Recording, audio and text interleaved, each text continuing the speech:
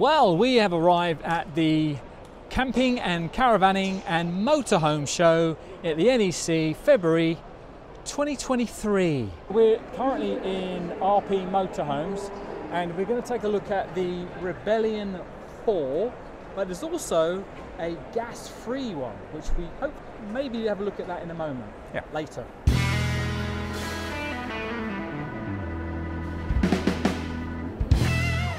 So this is the Rebellion 4 all-wheel drive go anywhere van, really. Yeah. So um, elevated lounge.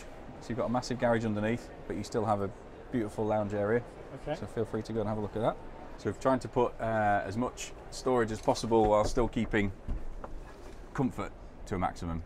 Um, so we have uh, you know big drawers under here. You've got access to the garage through here uh, under this there, so you can put stuff straight in there. Making the bed is very easy. It's just a matter of pulling out this little bit here, Yeah. and then you bring those two cushions and pop them, Oh, okay. pop them down the middle. Oh, they're And not, you got- oh, they're not. This is one single um, cushion then, really. So you have a on. centre centre line down the middle, um, so you can butterfly these up and actually access the garage as well. Yeah. Um, so it's 2.1 metres on one side, 1.9 on the other. So a good sized bed, Okay. 1.7 metres wide. Uh, lots of stuff storage up top, so for just soft things, coats, jumpers, all that sort of stuff. Uh, and we do actually do these as empty carcasses, so you put your bedding inside those. Oh, that's a great idea. I like that. Yeah, yeah. Yeah, that is a good idea. So this one's got, uh, this is the gas version. Yeah. Um, so we have uh, gas oven and grill. We've got twin gas burners there, but we also have the electric induction hob as well. Um, we run a 89 litre fridge there, Okay. but there's also a 30 litre fridge or freezer on the end there. All right. Okay. So that can be either a fridge or a freezer. Yeah. So if you're going away for a long time, turn it into a freezer, fill it full of food, you're done. Uh, if you just want it as a beer fridge, just have it as a beer fridge. That's what I was thinking. Actually, you read my mind.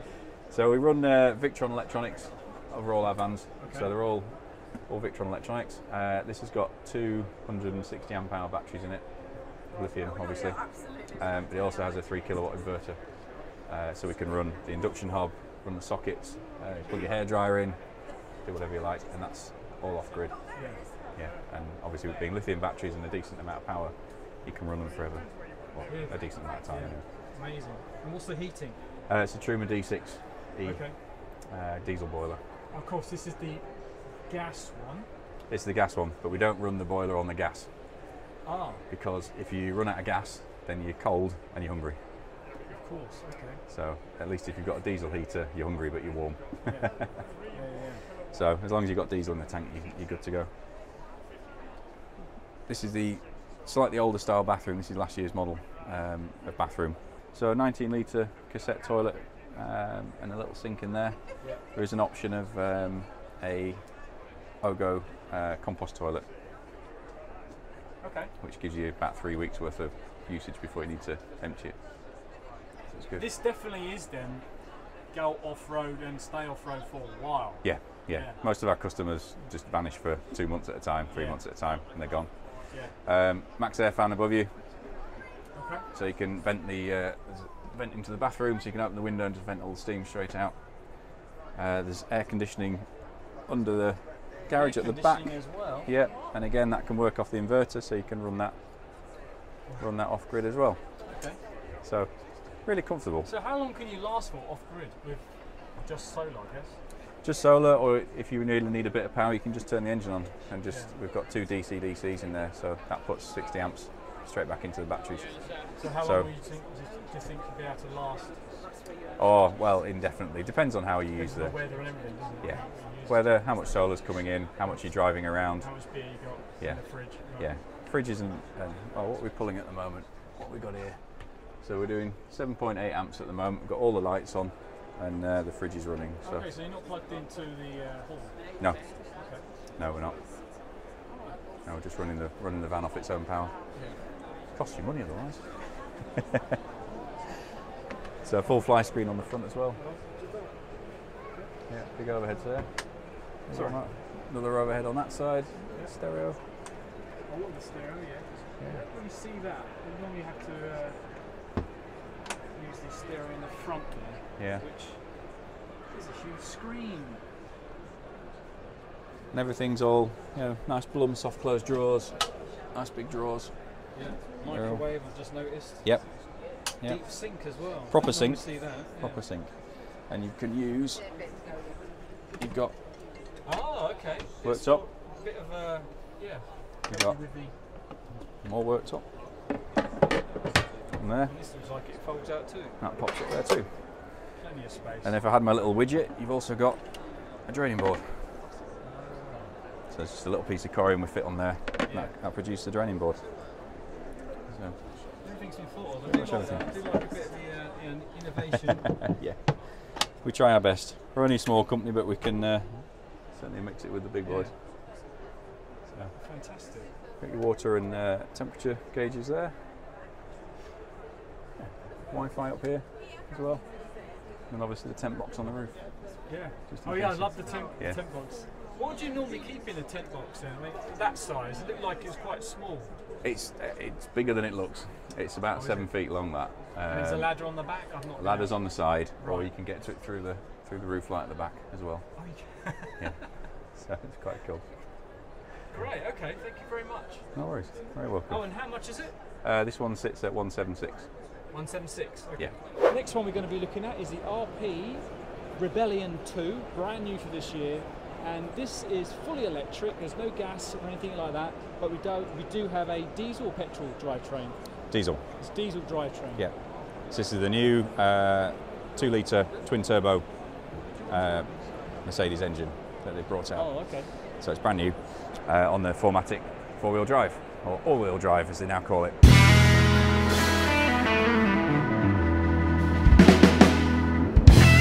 So I'll show you around the back. So it's the same same garage as the four, but obviously we've now got fucking great big Yeah. wow, inverter. So it's seven kilowatt inverter. So you could literally plug your house into this van and, and run your house off it. Yeah, that. It goes all the way back there as well. Yeah, yeah, it's a it's a deep thing. It's a di- it's a deep thing. Um, so to power that, we've got two 24 volt batteries in there, Okay. 200 amps each. Yep. So obviously in 12 volt language, you're looking at 800 amps lithium power. So it's a lot of power. Um, and then we have a uh, solar on the roof. So there's three solar panels, uh, two running the uh, habitation side, Yeah. and then there's one that charges the van battery. Oh, okay. So, So you're never out of power. No. out of, uh, uh, which is good because we, we run electric sliding doors on all the vehicles, so they draw a little bit of power. do you really? Yeah, yeah, Oh, I like that. So you press don't the get that slam. It just goes. Shh. yeah. Just a clunk. So, Wow. Which is lovely. seeing that happening uh, problem is the steps are in the way, but yeah, we'll have a look at that. But, No. you know, Um, good if you could. twin water tanks, 200 litres of water. That's the grey boxes, is it? Those are, yep, those two boxes there. So you can fill from either side, Yeah. empties together, goes down the centre of the van. So 200 litres of water. Uh, you've got a grey tank is on under the under the van. So everything's on board inboard, so no worries about anything freezing. And uh, I noticed you've got uh, you can. You've got these. Uh, I don't know what Yep. they're called, but straps for. Yeah, it's all the unistrut and the Yeah. uh, uh, rails on there. So that's all good. We've got an outdoor shower point there, Okay, hot and cold. That just clips up here. Big shower curtain on here as well, so you can have a have a really nice outside shower. Shower room. Yeah.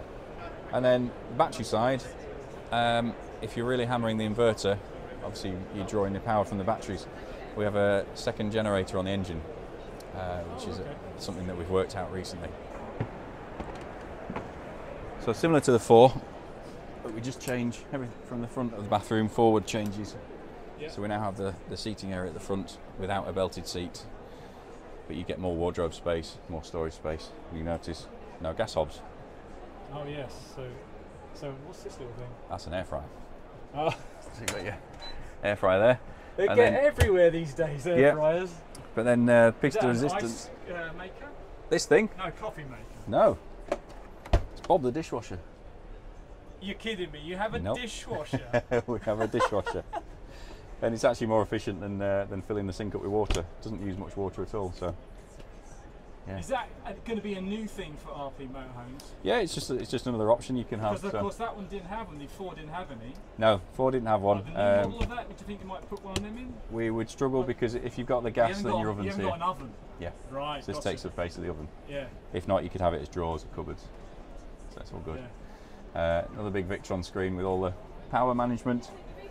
But then this one's got the Ogo toilets. This is our new our new bathroom arrangement. So you don't have that big bit of Corian down the side anymore. No. So instantly you've got a bigger a bigger space. Oh, there's no. Yeah, there's no uh, sink. No, until you do this. Oh, look at that. And all the all the pipes are built into the hinges, all 3D printed. Is And it just goes away. recyclable at all? No, not at the moment. It all just goes moment. into the grey tank. Thinking about it. I know It's, it's, it's all yeah, it's all th- there's, there's companies out there that, that produce Well, them, mispronounced so- Adventures does it. You heard, heard of that guy? No, I haven't. YouTuber? Yeah, he's No. done it to his van. Right.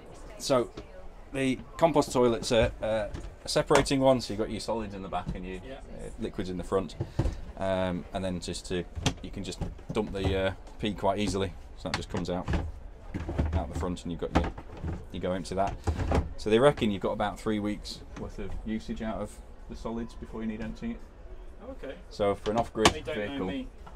for an off-grid vehicle, you you're good to go. Yeah. Um, and then if you want a really nice shower, what we can do is pull those two pins, just take the whole thing out. No. Wow. Yep. Because of course there's no. Well, it is the tank as well as everything else, Yeah. isn't it? So that just comes Just move that just out comes out. there, Put that in the lounge Yeah. or in the kitchen. That's why not. But then you got the size of the shower you've got now Yeah, you got to. in a panel van. And we've got That's the height. not. That's pretty good, isn't it? Yeah. Now it does look like the uh, uh, 12 volt fridge freezer, but Yes. uh, you don't want to get that confused. But I suppose if you're staying in the same place and you're wilding it, then you could actually just put it outside the back. Yeah. Just use it outside, Yeah. and you've got a really nice You've got that curtain as well, Yeah. Yeah. as long as it's not windy. So we do all our uh, 3D printing in house. We do all our upholstery in house. We do all the timber work in house, all the Corian work. So pretty much everything you see, everything you touch is Yeah. built by us. And how much is is this? This one. 196,000. Wow. You've got to be serious off road if you want to. Yeah, yeah, yeah. So obviously you've got the power generator that's buried under the seat there. It's attached to the engine, but it does allow you to. It's a three kilowatt generator basically. So if you're hammering the batteries, you've got your air fryer on, you've got both induction heaters, uh, induction hobs, dishwasher's running, you've got microwave on, and your wife's doing her hair in the back. Can all be done on the inverter that we've got. Yeah. So you're not just limited to running the toaster for a bit and having to turn off the hob or whatever. Incredible. Loads of. Tons of power. Yeah, yeah. A lot of power. Um, and again, you've got your storage at the back, exactly the same as the other one. Right, brilliant. So Is Yeah. there a wardrobe or anything like that? For... Oh, okay. Right in front of me. wardrobe's there, Yeah. And then the Truma heater's underneath that, so it stays nice and warm, keeps your clothes warm. Gotcha. And this one's got the iMac on it. Yeah, noticed. Yeah, Okay. And uh, what kilowatts have you got on the roof? Uh, there's three 105 panels, so 300, about 310, 315 watts. All right. Like I say, that's split up to 100 into the van battery, 200 into the Yeah. that side of things.